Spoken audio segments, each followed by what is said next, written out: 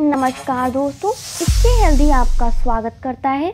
दोस्तों इन्वायरमेंट में हमारी बॉडी के आसपास करोड़ों वायरस और बैक्टीरिया उपस्थित रहते हैं और इन डेंजरस बैक्टीरिया और वायरस का हमारे इम्यून सिस्टम पर बहुत इफ़ेक्ट पड़ता है, क्योंकि हमारी बॉडी का इम्यून सिस्टम ही इन वायरस और बैक्टीरिया से हमारी बॉडी को प्रिवेंट करता है।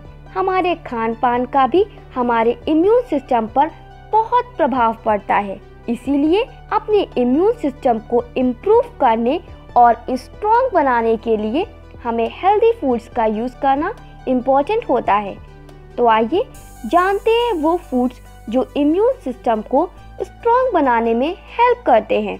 हमारे चैनल को सब्सक्राइब करें व बेल आइकन को क्लिक करें ताकि हमारे आने वाले वीडियोस की नोटिफिकेशन आप सबसे पहले पा सकें।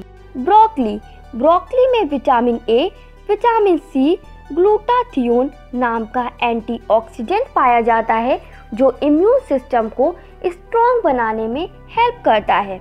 मशरूम मशरूम में एंटीवायरल एंटीबैक्टीरियल और एंटी ट्यूमर एलिमेंट पाए जाते हैं, जिससे यह इम्यून सिस्टम को इम्प्रूव करने में हेल्प करता है।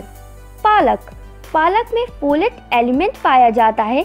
इसके साथ ही इसमें मौजूद फाइबर आयरन एंटीऑक्सीडेंट एलिमेंट और विटामिन सी बॉडी के इम्यून सिस्टम को हेल्दी रखने में हेल्प करता है।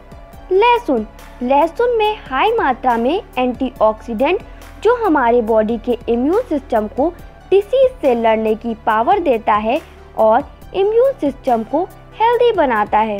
संतरा संतरा में विटामिन सी पाया जाता है, जो वाइट ब्लड सेल्स के प्रोडक्शन में हेल्प करता है, जिससे यह इम्यून सिस्टम को इम्प्रूव करके उसे हेल्दी बनाने में हेल्प करता है।